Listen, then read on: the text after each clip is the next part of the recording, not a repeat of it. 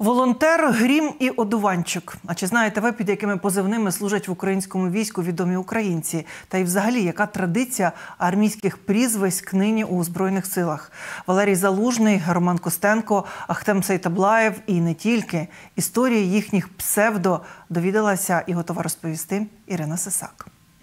Головнокомандувач збройних сил і слуга народу Микола Тищенко. Таку світлину народний депутат опублікував на сторінці у Фейсбуці. Користувачі одразу ж прикипіли поглядом до єдиного шеврона нардепа із написом Титан. Такий позивний обрав собі депутат президентської фракції. Хоча у лавах ЗСУ не служать, тоді навіщо Миколі Тищенку у тилу позивний? Спитаєте ви і логічно, бо армійське прізвисько насамперед потрібне на передовій. Для чого та які позивні відомих українців на фронті?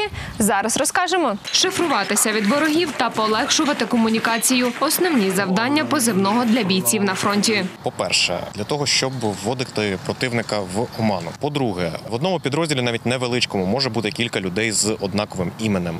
Відповідно, звертатись до всіх, особливо на війні, там ім'я, прізвище. Ну це втрата часу, так ніхто не робить. І здебільшого обирати собі прізвисько бійцеві не вдається. За нього це швидко роблять побратими. Це можуть бути якісь смішні історії, це може бути щось пов'язане знову ж таки з зовнішністю, з характером. Як би ти в своїй роті зі ста чоловік не розказував, що ти е, Цезарь, е, все рівно тебе будуть називати е, там, я не знаю, спотикач, тому що ти споткнувся, як тільки зайшов в казарму. Ну, наприклад. То в кого які позивні? Почнемо з головнокомандувача ЗСУ Валерія Залужного. Його псевдо згадали воєнкори, вітаючи генерала з днем народження. Ми знаємо, чому ви маєте позивний волонтер.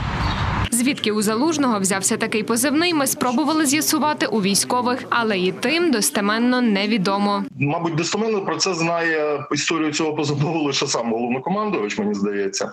Тому що в кого ми не питали, намагалися з'ясувати, ніхто не знає. Це така якась таємниця. Але є дві версії.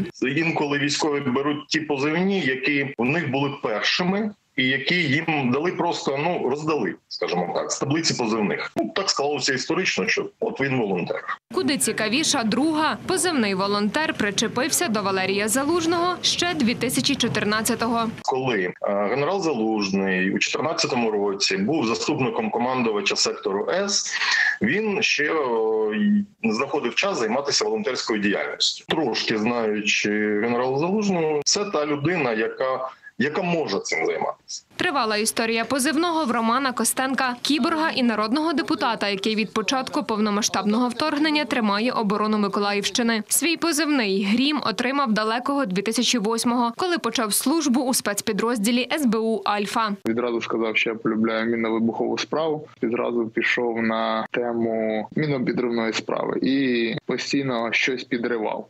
Ну, звідси з'явився позивний грім е, від того, що де я там весь час гриміло. Нині пригадує курйозну історію зі служби. Розповідає позивний грім із початком війни вісім років тому обрав собі і тодішній начальник генштабу Віктор Муженко. Через це бувало виникала плутанина. Часто були такі казуси. Я там приїжджаю на якусь позицію, кудись там.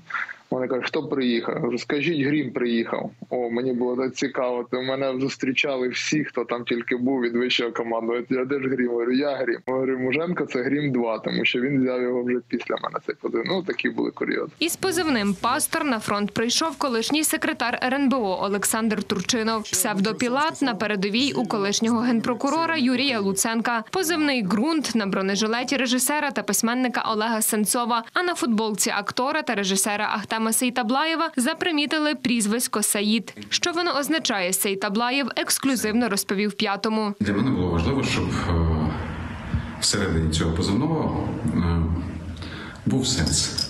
А сенс полягає в тому, що це Сейт Аблаєв, Ахтем і друзі.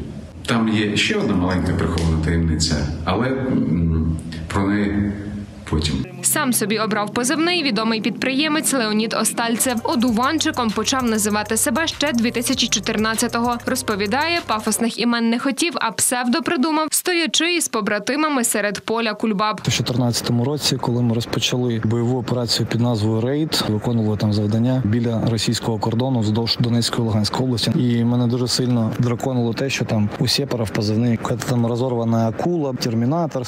С***». Мене це вкурвало, і я сказав, да мені по називатися, я буду одуванчиком. Насправді по як ти називаєшся, головне, як ти працюєш, що ти робиш на війні. І всім дуже сподобалось те, що я назвав себе одуванчиком. І командир теж зацінив. Ну, типу, воно дуже прикольно, тому що я схожий на, на одуванчика. Саме тому, напевно, воно так прикольно і звучить. Водночас чимало відомих українців воюють без позивних або ж намагаються їх старанно приховувати. Шевронів із псевдо не видно в нардепів Романа Лозинського, Андрія Парубія, Гео Лероса, Мар'яни Безуглої. В ідеалі позивні треба тримати в таємниці, позивні треба періодично міняти для того, щоб знову таки вводити противника е, в оману. Е, Проте не завжди так відбувається. Є серед позивних і найпопулярніші. За словами військових, чи не на кожній позиції. Стопудово зустрінеш бійця з позивним дід, з позивним борода, з позивним малий, е, кота з позивним сєпар.